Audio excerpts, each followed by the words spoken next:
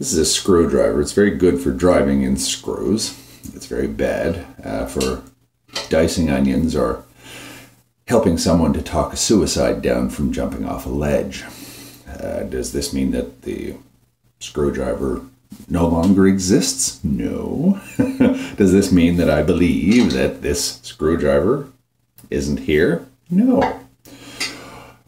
It simply means that I understand that a screwdriver has certain uses and it is that it's quite good at, as in driving in or removing screws, and there's a few other issues. I use it to open cans of paint, etc. But it's not very good for other things. Um, it wouldn't help me at all in terms of planning a wedding or uh, uh, cooking up a pot of ratatouille. It's useless for that.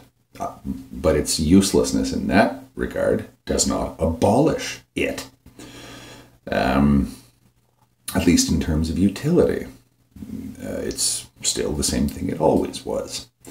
Assuming, of course, identity is assumed. Now, the response that one tends to get from people uh, when making that kind of a case is often akin to a religious one. Um, Voltaire once famously quipped, I think it was Voltaire, if God did not exist, we would have to invent him. And he wasn't, uh, a lot of people took that as kind of a snarky, kind of uh, underhanded uh, confession of his own atheism. I don't think so. I think that uh, that if you look at, say, the Islamic world, um, God is the linchpin of absolutely everything. God puts the food on your table. God makes the sky remain blue and not turn yellow. Uh, God makes the laws of physics work. Uh, God breathes life into all of us, etc., etc. It's one of the biggest hurdles in terms of trying to bring a secular society into the Islamic world is the fact that the thinking is so suffused by theism. God is the linchpin of absolutely everything.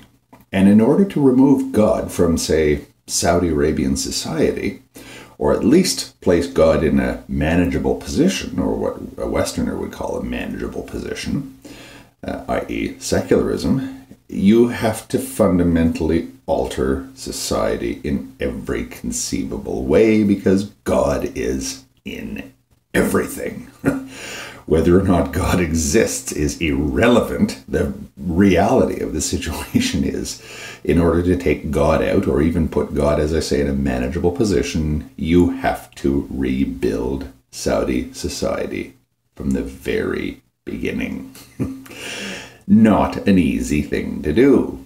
Um, where that's one of the dilemmas of the postmodern age, the 21st century, is what do we do about the fact that one half of the planet is completely, apparently, gravitating away from any theistic notion of reality or cosmology, and the other half is doggedly clinging to that. Something's got to give. Same thing with people's response to logic. Um, it's almost as though people are scared. Does that scare you? Let's just say hypothetically that we can prove that logic is flawed or logic is limited or whatever. Let's just say we could do that. Just suspend the, the argument for a moment. Would that be so horrible? I don't think so. I, I want to see things for what they are. I'd rather not live in some kind of delusion.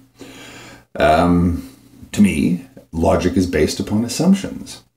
Those assumptions are not truths. They're taken as self evident. Yes, that's nice, but that doesn't make them truths just because we decide that they are. There's an admission in there as something that is taken as self evident um, that uh, you've actually established a fact, or that you have I actually that you haven't established a fact. I have no argument for this, but we have to take this as self evident and move from there. Um, I once had a conversation with a libertarian on that very uh, subject. We take these through these truths as self-evident, yada yada yada. Okay, that's nice. what if you don't? The only response I ever get to that response is, to that objection is USOB, communist, totalitarian scumbag, whatever. Which is fine. I understand that. You're essentially um, causing somebody's universe to dissolve when you question the fundamental axiom of everything. Um, some people uh, have arrived, I guess, at their atheistic position or whatever the position is through deduct- deductive and inductive reasoning, which is okay. Um, now, we're seeing that that's kind of assumption based as well. Um, you know, it's it, it's a less crude kind of an assumption than uh, than say the various confessions of faith ma- made in various uh, religions, but it's nonetheless just as much an assumption as anything else is.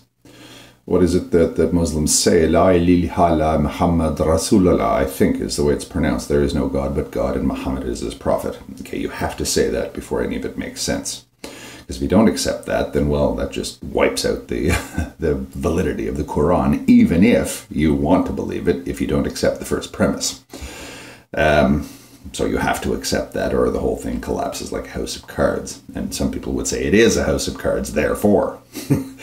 um, I'm not going to go so far as to say that.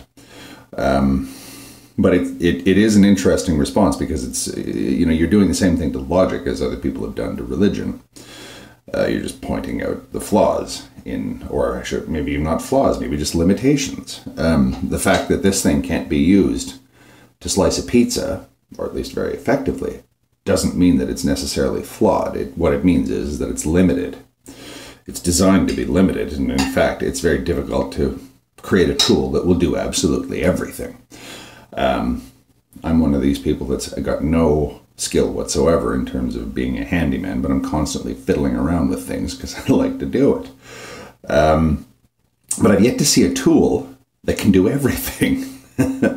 I can't, I, you know, I just, as I said, I built a shed, a shed uh, over the summer. I had to do a lot of measuring. I had to do a lot of cutting, drilling, driving in of screws, pounding in of nails, uh, lifting of things, etc., etc. I haven't found a tool that will do all of that at once. I have to have a whole assortment of tools because the various tools that I have are specialized and they're good for certain things, but they're not very good for others. Understanding what my tools are does not abolish them. If logic won't get me uh, where I want to go, then I reach for a different tool for a different function. Um, that's not the same thing as the abolition of my tools. I don't understand, well, perhaps I do understand, or I'm trying to understand why people can't see it that way.